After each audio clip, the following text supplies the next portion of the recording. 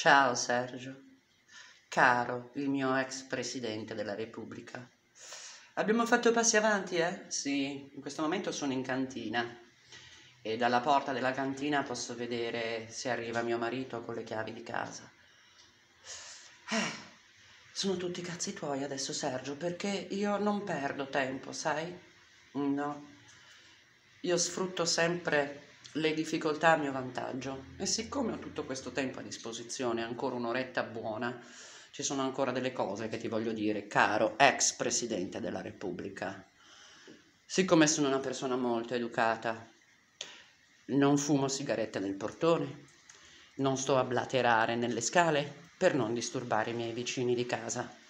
Sono una persona talmente bella che mi meriterei un presidente della Repubblica di gran lunga migliore di te.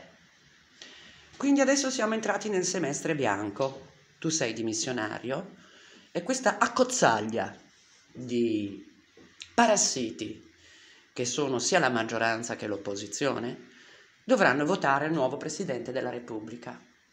Ma vuoi vedere che questa volta, siccome il consenso che avete tra la popolazione è pari ha un infimo, secondo me, 20%, ma neanche il 20% vi sopporta, forse anche meno.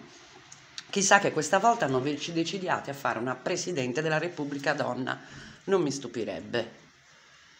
Ma voi non sceglierete una brava persona. Voi sceglierete di nuovo un burattino che sia utile ai grandi interessi finanziari delle case farmaceutiche, delle multinazionali, No, non sceglierete qualcuno di cui sentirsi orgogliosi di averlo come Presidente della Repubblica. Voi, quelli come te, voi abitate nelle vostre dimore lussuose. Tu dove abiti? Al Quirinale, Sergio? Pagato da noi, vero? Te lo paghiamo noi quel bell'appartamento che c'hai al Quirinale. Eh? E gli altri? E Conte dove vive? Vive al Viminale, pagato sempre dalle nostre tasse. E gli altri politici dove vivono? Nelle loro belle ville, con quello che prendono di stipendio. Sarebbe stupido se vivessero in un appartamento normale come me. Quindi voi non avete la più pallida idea di come si vive. Voi non uscite per strada a fare due passi, voi non andate a fare di persona la spesa per vedere che cosa succede dal panettiere, dal macellaio, dal pescivendolo, dal besagnino, come lo chiamiamo noi a Genova, quello che vende la verdura, il fruttivendolo. No, voi non uscite mai di casa. Che cosa avete? La donna di servizio? Cioè avete la donna che vi fa le pulizie, la donna che va a prendere a fare la spesa, oppure magari no.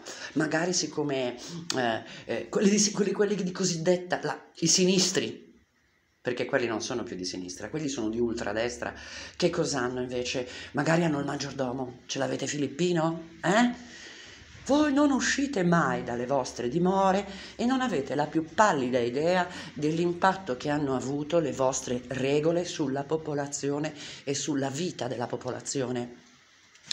Sergio, tu sei il Presidente della Repubblica e dovresti essere il garante della Costituzione. E se c'è una cosa che è ben chiara nella Costituzione è la dignità della persona umana. Voi avete calpestato la dignità della persona umana e state continuando a farlo. Secondo avviso, non siete autorizzati a parlare per me, discendente di deportato sepolto in una fossa comune di un lager.